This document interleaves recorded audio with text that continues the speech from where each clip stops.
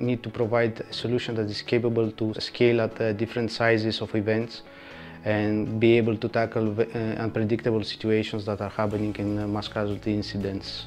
The, the, problems should be tackled in as much as possible uh, in a way that uh, overcomes the existing methods that are already good and uh, the solution should be able to go a step further.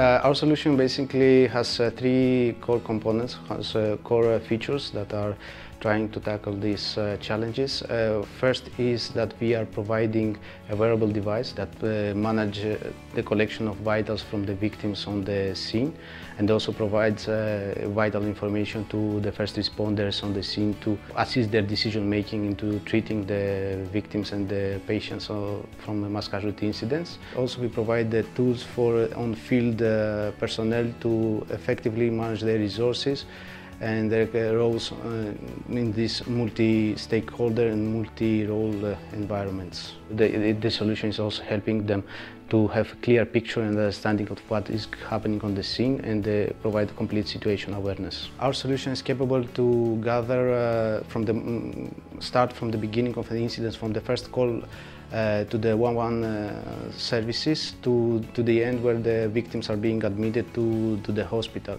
Uh, we are flexible in order to accommodate any needs and uh, sizes of uh, mass casualty events.